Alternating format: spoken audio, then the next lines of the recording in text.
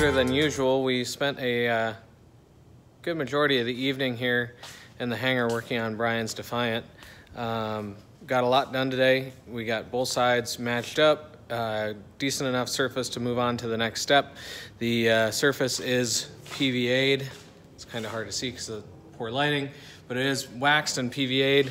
Um, everything's all ready. We got all of the cloth cut for uh, being able to do the layup, and so um, hopefully have a uh, tool cowl serial number one for the bottom cowl on the aft engine for Brian's Defiant tomorrow.